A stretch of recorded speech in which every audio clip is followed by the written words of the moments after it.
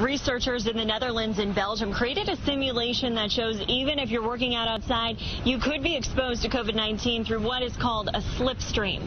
They're too small to see, but knowing they exist could play a big role in avoiding COVID-19. The droplets that are exhaled by somebody, or even when the person coughs or sneezes, but just exhaling is enough, Civil engineer Professor Bert Blocken and his team had been investigating the movement of particles around an active body for the last eight months.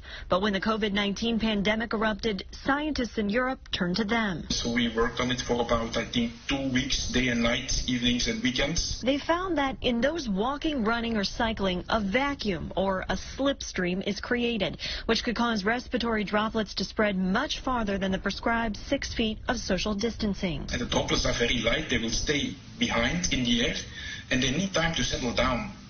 And if they don't get the time to settle down because another person starts running directly behind you, this person will simply walk through that cloud of droplets. To avoid it, stay 15 feet from others when walking, 33 feet when running or cycling slowly, and 65 feet when running or cycling at a faster pace.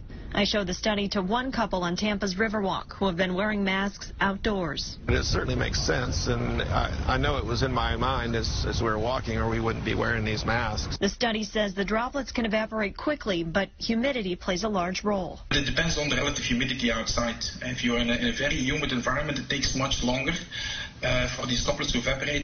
Blocken says based on the simulations, the study suggests that the best way to reduce the risk is to avoid running directly behind one another. He says you could also run in a staggered formation or run side by side. Reporting in Tampa, Jennifer Holton, Fox 13 News.